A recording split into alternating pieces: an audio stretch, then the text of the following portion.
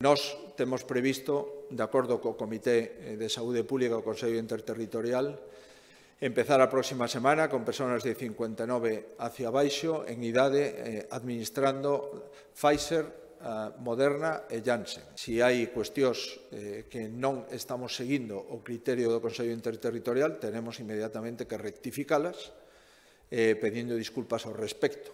A AstraZeneca estaba indicada entre 60 e 69 anos. Posteriormente, o Consello Interterritorial nos comunicou que eh, é máis procedente de 66 a 69 Pfizer ou eh, Moderna. E nós aceptamos, aínda eh, non compartindo ese criterio, aceptamos o criterio do Consello Interterritorial.